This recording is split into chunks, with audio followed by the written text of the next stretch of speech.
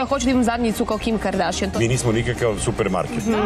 Kad me on želi, ja orgazam za orgazam. Ja bih se obratila Zorici Kemiš. Ako je Zorica na vecu šolji i ona na vecu šolji. Ja. Ali Mrka se žalio kod vas u kuriru da ona ne da, da Pa dobro, ne damo svako veče. Švalerka ovde. Od sutra je Vanefin muž. Da.